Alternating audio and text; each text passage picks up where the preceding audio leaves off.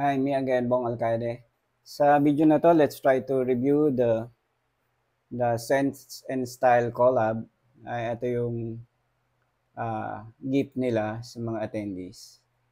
No, uh, where, sa video na to, one, one lang muna ang itatry nating i-review. Um, pronto lang to, ano, uh, pronto, ano lang to, on the spot. So, try natin. I will try to flash the the notes above the screen and so check natin yung I'm here by Mitch.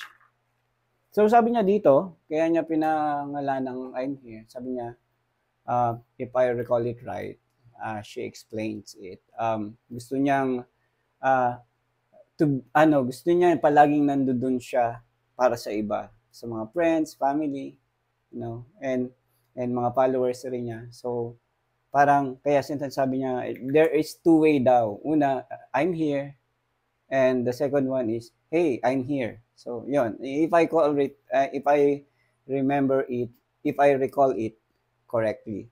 So, ito, uh, I'm here. Kaya ayan. Uh, ito is one of the sample lang na na kasama dun sa wait.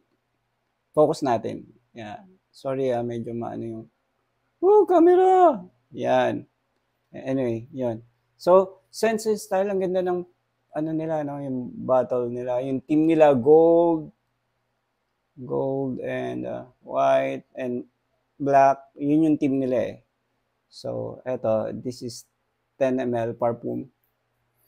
So, to me, this is, uh, uh, to me kasi parang, uh, naamoy ko na to, it's like, uh, it's a to me it's a unisex scent. Uh, pero leaning masculine no?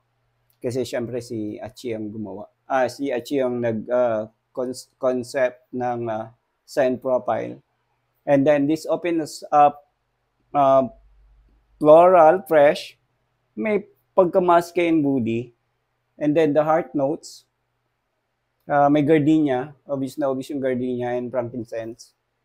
And then sa base note meron siyang uh, sandalwood and a little bit of wood. And then tonalid. Yung tonalid kasi uh, uh, may maganda siyang ibagi sa mga musky musky scents and then nag uh, nagpo nag uh, dadagdag din siya ng longevity ng perfume. Uh, nako-consider din siya as fixative. So good good ano, good combination. I say this one is uh, unisex. Ako I can wear this. But, uh, yun. I hope you guys check this out from Achi. Uh, from Sense and Style. It's really a good, good scent. Ganda ng profile scent niya. So guys, yun lang. So, see you sa next, ano, scent na, sa next video. Scent, i-review naman natin yung kay CJ. Thank you.